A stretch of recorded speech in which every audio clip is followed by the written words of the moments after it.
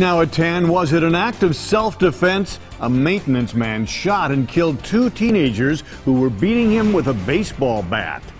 It's still not clear exactly what started it all. But police have a key piece of video that will help them sort things out. Charles Benson is live at 27th and Vliet with an update on this breaking news. Charles.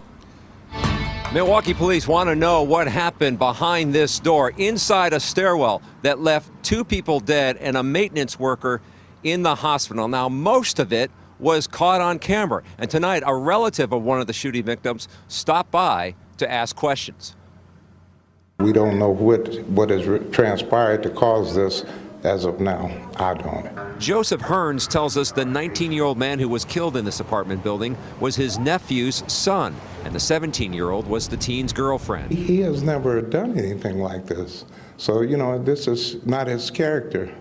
So it doesn't sound like him. Police say the two teenagers allegedly got into an argument that led to a fight with a 39 year old maintenance man who was beaten with a bat. The maintenance man produced a handgun shooting the two. Police have eyewitnesses, but they're also hoping video will give them a clear picture of what happened. We do know that the uh, the maintenance man did sustain injuries, and we did capture the assault on him on video.